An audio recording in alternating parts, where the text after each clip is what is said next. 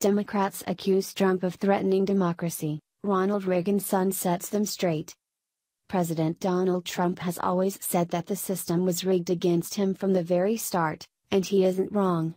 However, the Democrats, and even RINOs like John McCain, have accused Trump of threatening democracy when he calls the press out on their double standards. Now, President Ronald Reagan's son has come forward to set the record straight.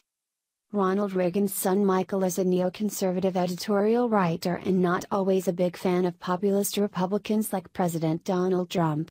However, he admits that Trump has a point about the swamp being aligned against him. In a new op ed for Newsmax, Reagan writes that Hillary Clinton donors tried to spend $750,000 to bribe a woman to claim that President Trump had sexually assaulted her before the election. But, when actual victims came forward to reveal that Bill Clinton had harassed them, the media and the left painted them as trashy whores. Back when Bill Clinton was president and female accusers were not to be believed, one of his factotums said after the president had been accused of sexual assault, Drag a hundred dollar bill through a trailer park, you never know what you'll find, Reagan writes.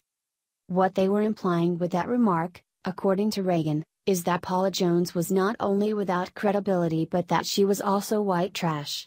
Now it seems that Trump's enemies are trolling for cash using the same strategy to get the president, Reagan added.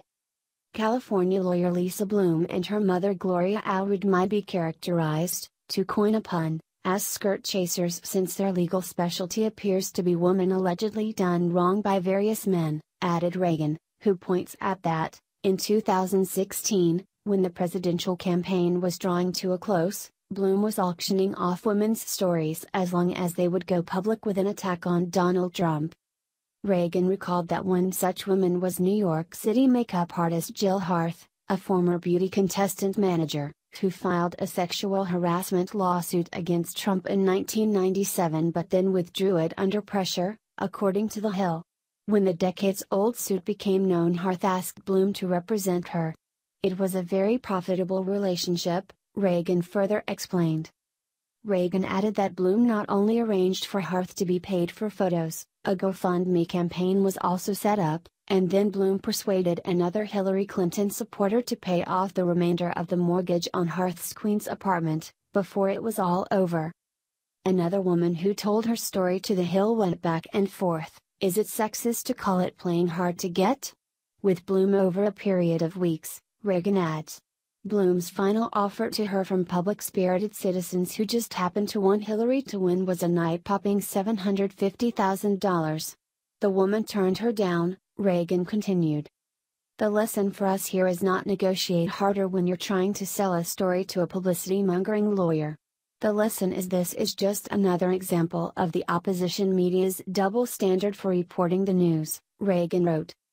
According to Reagan, if the situation was reversed and a Republican was paying women to accuse Hillary Clinton of something like forcing them to hand wash her pantsuits, the uproar would have been immediate, and, the opposition media would have been relentless in its pursuit of the donors' names, he added.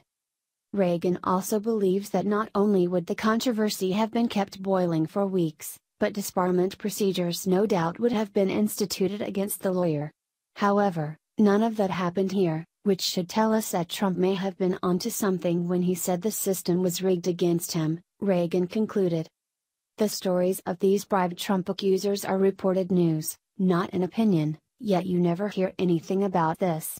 Indeed, it should have been one of the biggest stories of the year that one of the women who accused Trump of sexual assault had her mortgage paid off by a Hillary donor and another was offered three quarters of a million dollars to come forward.